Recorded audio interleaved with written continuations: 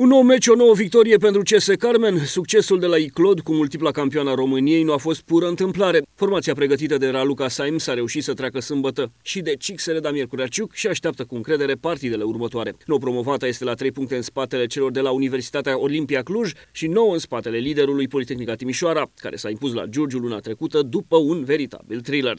Noi ne continuăm uh, treaba și în fotbal, ca și în viață, se întâmplă miracole și obiectivul nostru este să câștigăm toate meciurile de acum înainte.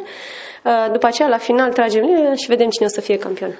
Partida cu Cixereda din cea de-a patra runda play-off-ului nu a fost deloc ușoară pentru gazde. La fel ca în sezonul regulat, oaspetele din Miercurea Ciuc s-au apărat supraaglomerat și au încercat să dea lovitura pe contraatac. După o serie de ratări, inclusiv două bare, Carmen a reușit să deschidă scorul chiar înainte de pauză. Catarina Realișta a reluat în plasă centrarea perfectă a Paulinei Sarcanaite. Gazdele s-au desprins în minutul 70 grație reușitei capitanului Bianca Sandu dintr-un penalti obținut de Ana Maria Stanciu. Liga 1 au pauză pentru acțiunile loturilor naționale. Următorul meci pentru CS Carmen va avea loc în 14 aprilie la Giurgiu cu Politehnica Timișoara în sferturile Cupei României. O să avem o pauză, le dau la fete pentru că merită și au nevoie de pauză fizică și psihică, după care reluăm pregătirile săptămâna viitoare și ne pregătim intens pentru meciul cu Poli din cupă.